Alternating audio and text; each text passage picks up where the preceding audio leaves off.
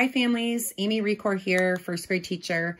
Uh, Mr. Van Bergen and I do this with the kids every Thursday. We call it Glue Write Highlight. They're going to take their words that are located in their Ziploc baggie that we cut out on Monday. There's three different sorts going around this week in first grade. Your child has one of them. Okay, they're going to glue them down on this paper, this manila paper. Okay, I finished one for you. Kind of like those cooking shows when voila, here it is. Okay, I have the S sound cards here that start with a sound. I have the H sounds here and the SH sounds here. Your child might not have this sort. Okay, there's different sorts based on where your child is with spelling and word patterns. They might have the A, A pattern with an oddball word. Okay, and they might have different ways to spell A, um, which is A-Y, A-I, A and a bossy E. So this is just one of the three word sorts. When they're done gluing them down, they take this word study written sort paper.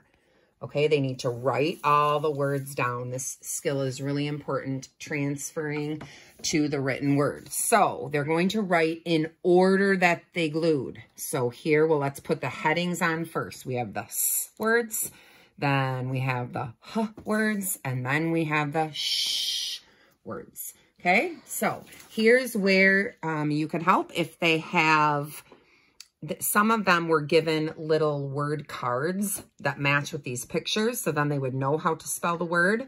And if not, they're going to spell seal. If they get this, we're happy because they get that it's the bossy E that makes the E say its name. We haven't done EA yet. So that's totally fine. We're really just looking for that S sound in all these words. Next is soap. That's totally fine. Sack and saw. Okay, they continue down.